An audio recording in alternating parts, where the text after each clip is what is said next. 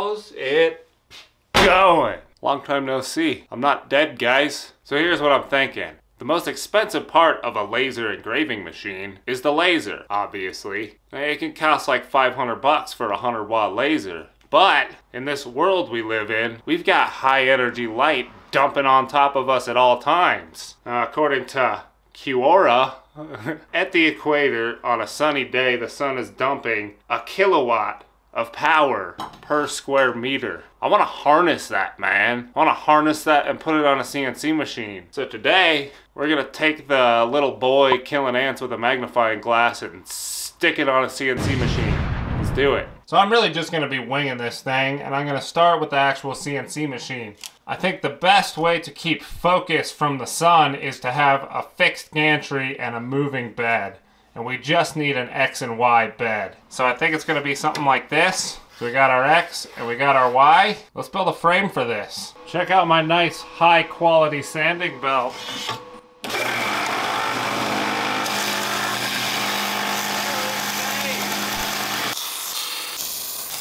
All right, we got ourselves a bit of a frame. I've clamped one of these linear rails in place. Now I just got to drill and tap these holes. And it may be a bad idea to be tapping 065 material. That definitely won't hold anything. But there's so many holes, man. The load is spread out evenly. I don't know. I'm to do it. If it doesn't work out, well, you'll see.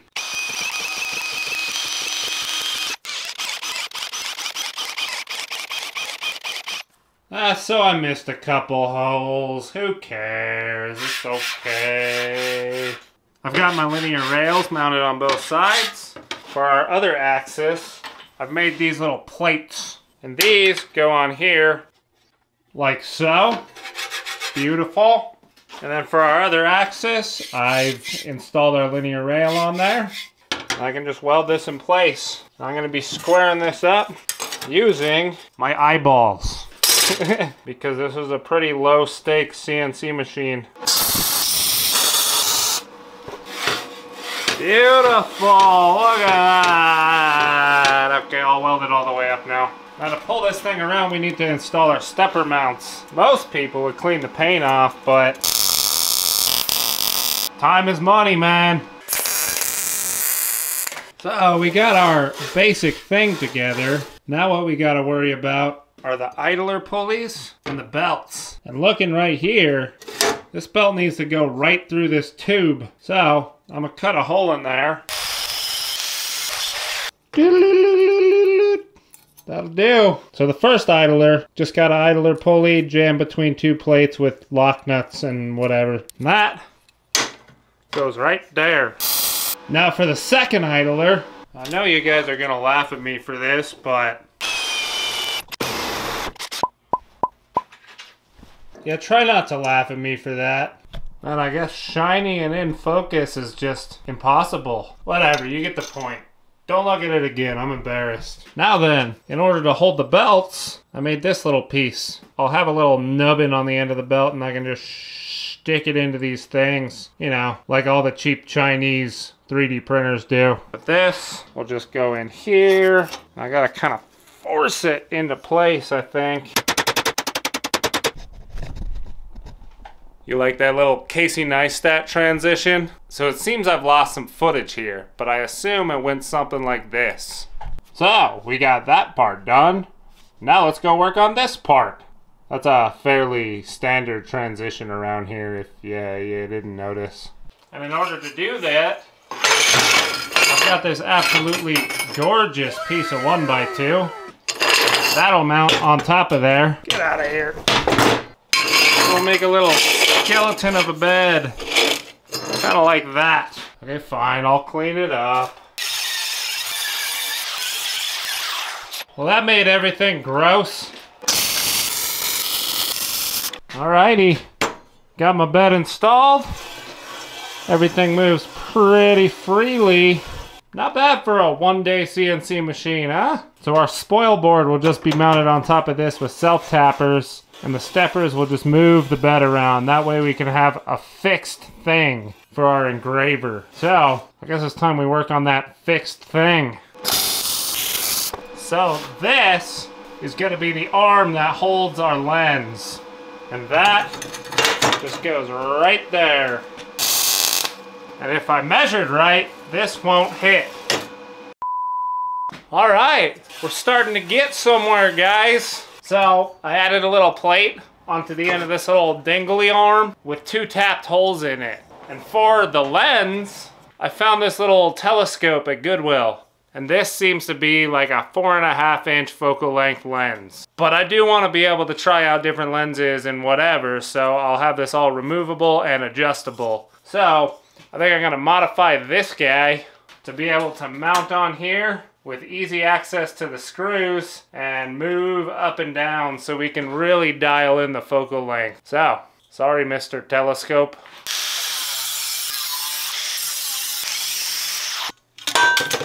Oh shit. Sweet! Well, that's kind of the machine just about done.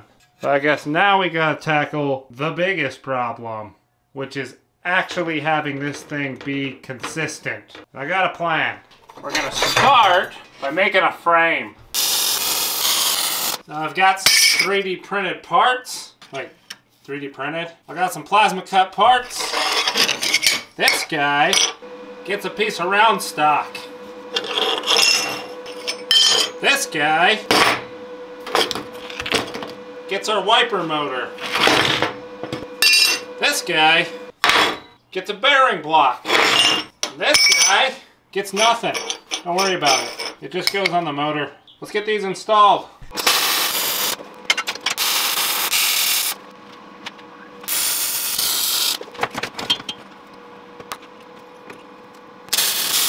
All right.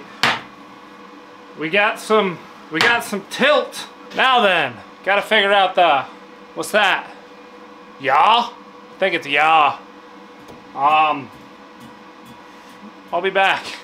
Well, hey there, old truck. Ooh. You're lucky it's easier to get to the scrapyard than to your wiper motor.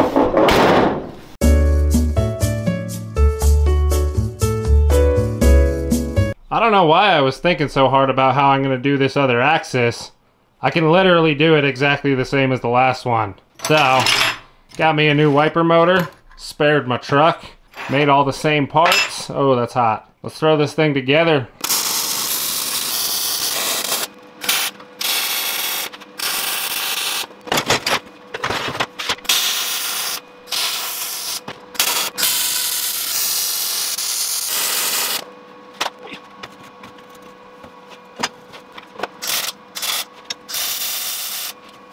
Well, it's all together. We got quite the monstrosity here.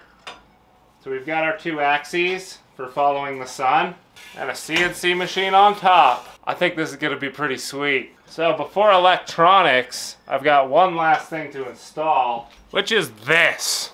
So I 100% stole this design from Great Scott.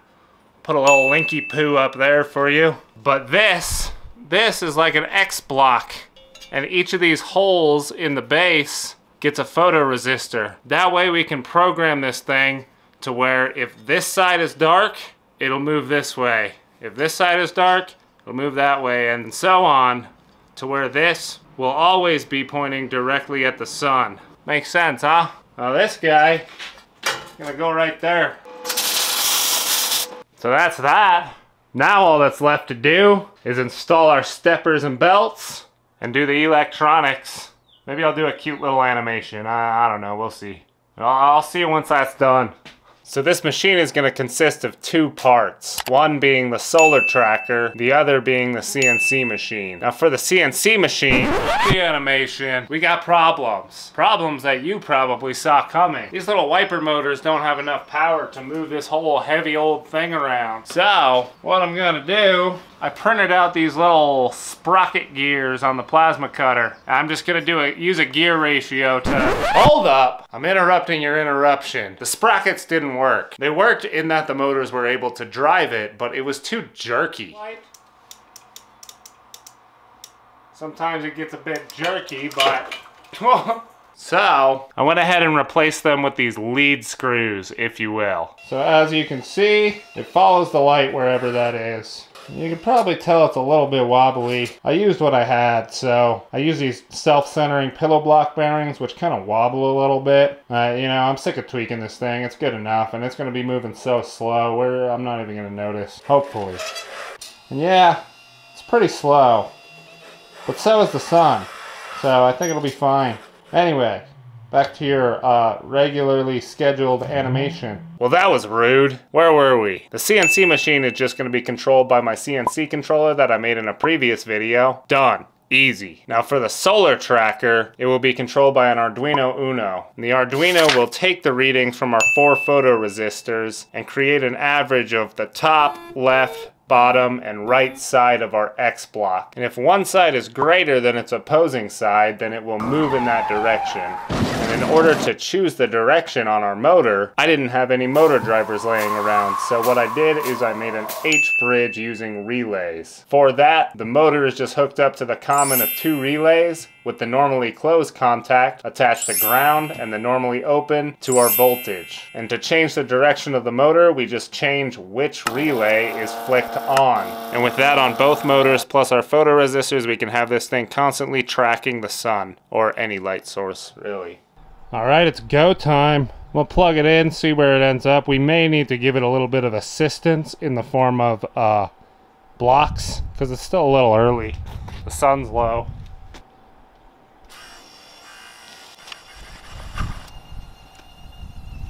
Yeah, give it a little bit of help. All right, that's pretty good. Wow, ain't nothing to do but to cut some stuff.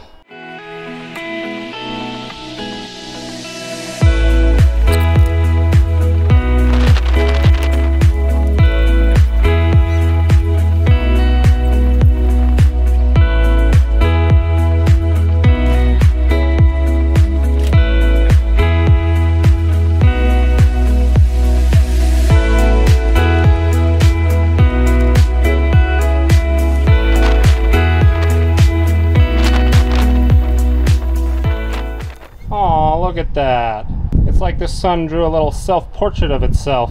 So the program just ended and kept burning right here, if you can't tell. But otherwise, everything else looks pretty close. So it looks like the sunglasses may have shifted like that way a little bit. But it might be my eyes deceiving me. I don't know. I mean, this CNC machine is not the most rigid thing in the world, so eh, whatever. Either way, man, it worked. Let's let's try another.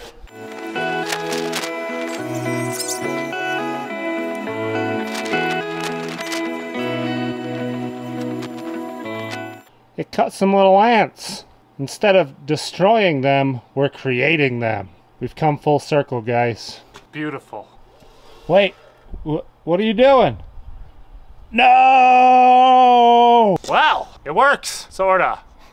it's a pretty good prototype. Obviously, this is all very thrown together, so we do got our, you know, wiggly bed, and the sun tracker is wobbly wiper motor, so it doesn't work the best, but, you know, as a proof of concept, man, this is pretty sweet. I'm pleased with it, man. Now, as for improvements, a better lens, so we can get, you know, less fat lines. Might even be able to cut with a big enough lens. A more rigid CNC setup and uh, actually properly planned sun tracker. Maybe a variable shutter and maybe we could even get it to do rasters. That'd be sweet. I don't know. I think it's a cool idea and I'm definitely going to be taking it further.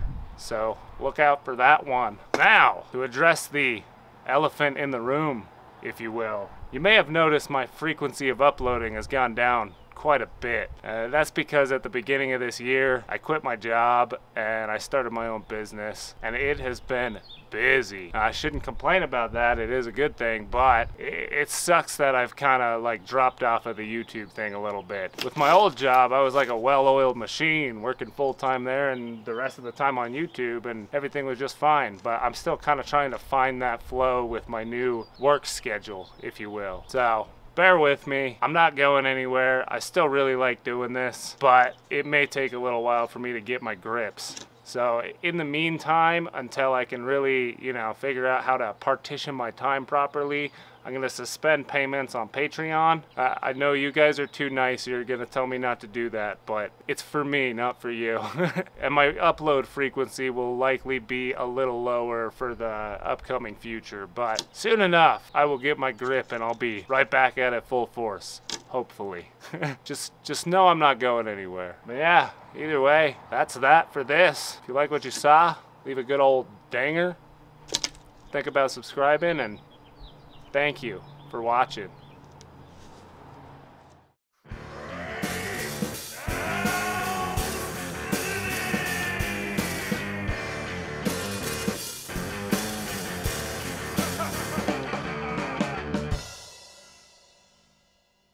That. Just while I was talking to the camera there, it burnt all the way through. So cutting with this is not out of the question. That's pretty sweet, man. Hey, if that ain't a teaser for part two, then uh, yeah, I don't know what is.